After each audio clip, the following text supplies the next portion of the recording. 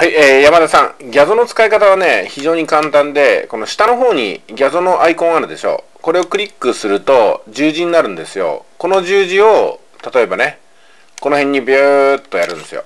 そうすると、これがスクリーンショットとして抜きになりますよね。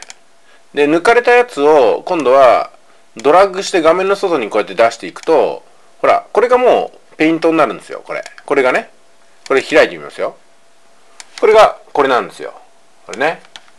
でここにいろいろ書き込んだりとかね。できるという。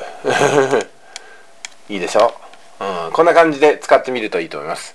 ギャゾをダウンロードしたらアイコンをデスクトップのねこのこちらの下の方に下の方に今チカチカしてるでしょ？下の方に入れておくことをお勧めします。はい。また何かいろいろと聞いてください。